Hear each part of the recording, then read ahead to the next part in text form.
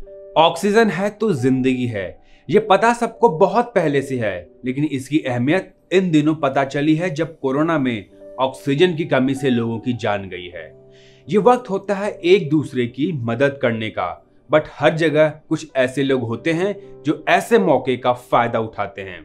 आज मैं बात करूँगा एंबुलेंस के किराए की।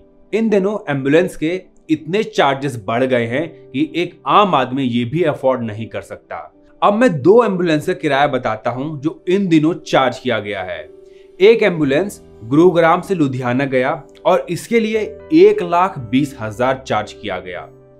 दूसरा एग्ज़ाम्पल, एक एंबुलेंस दिल्ली के मुनीरका से बसंत बिहार गया और इसके लिए एंबुलेंस वाले ने पंद्रह हज़ार चार्ज किए।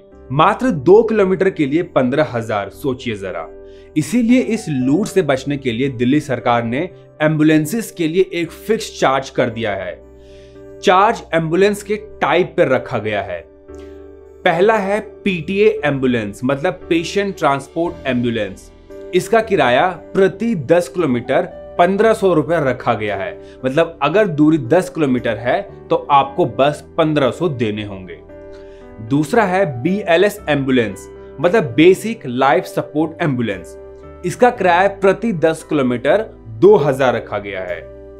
तीसरा है ए एल एस एंबुलेंस मतलब एडवांस लाइफ सपोर्ट एंबुलेंस इस एंबुलेंस का किराया प्रति 10 किलोमीटर 4000 तय किया गया है।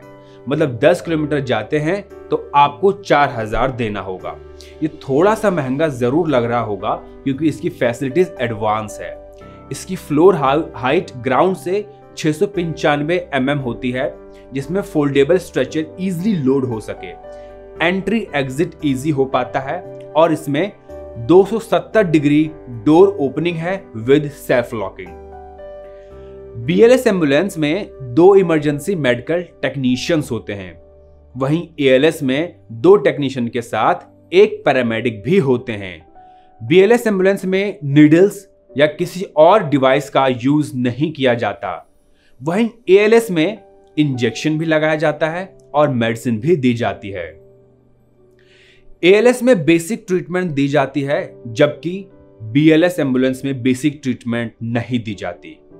एएलएस एंबुलेंस में एयरवे इक्विपमेंट होते हैं cardiac life support cardiac monitors और ग्लूकोज टेस्टिंग डिवाइस भी होते हैं, जबकि बीएलएस में ऐसा कुछ नहीं होता। इन तीन एंबुलेंस के अलावा मॉर्चुरी एंबुलेंस, नियोनेटल एंबुलेंस और एयर एंबुलेंस भी होते हैं। मॉर्चुरी एंबुलेंस में डेड बॉडी कैरी किया जाता है और इसके लिए भी अपनी मन मर्ज़ी के पैसे मांगे जाते हैं। नियोनेटल एंबुलेंस एक rapid action medical specialist team द्वारा ऑपरेट किया जाता है, जो प्री मैच्योर इन्फेंट्स को मदर हॉस्पिटल में ट्रांसपोर्ट किया जाता है। एयर एंबुलेंस एक स्पेशल आउटफिटेड हेलीकॉप्टर या फिक्स्ड विंग एयरक्राफ्ट होते हैं, जो इंजर्ड और सिक पर्सन को मेडिकल इमरजेंसी में ट्रांसपोर्ट किया जाता है। तो अगर आप दिल्ली में हैं और आपको एंबुलेंस की ज़रूरत पड़े तो किराया इसी हिसाब से दीजिएगा। और अगर कोई ज़्यादा किराया माँगता है तो उसकी आप कंप्लेंट भी कर सकते हैं। तो अगर ये वीडियो आपको अच्छी लगी हो तो आप इसे लाइक करें। और अब आप हमारे ऑफिशियल वेबसाइट www.infohub4.com से भी जुड़ सकते हैं